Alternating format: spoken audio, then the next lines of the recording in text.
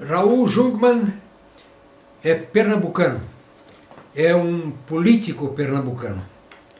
Ele ocupou vários cargos públicos, foi ministro várias vezes e foi deputado federal também por várias vezes. Dia 22 de julho, ele foi entrevistado pelo jornal O Estado de São Paulo para falar sobre a sua área assim preferencial, que era segurança pública. Mas ele fez uma declaração que eu fiquei interessado em comentar.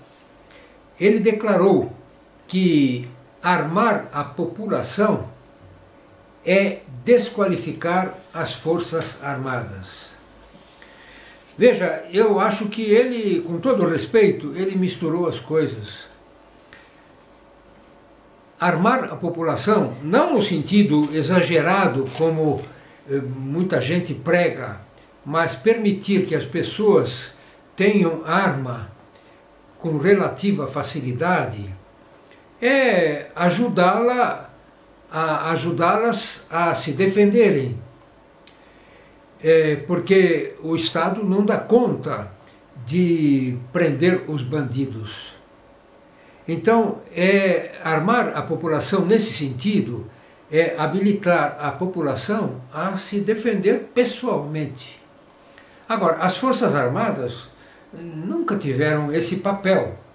As Forças Armadas defendem a nação.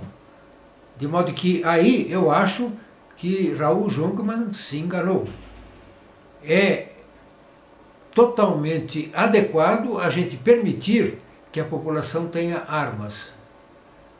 Então, é, o, o, o, país vai acabar com isto é, tendo a sua, as suas garantias reforçadas, porque haverá um decréscimo da ação de bandidos que sabem que é, vão atacar sempre pessoas indefesas. Até a próxima.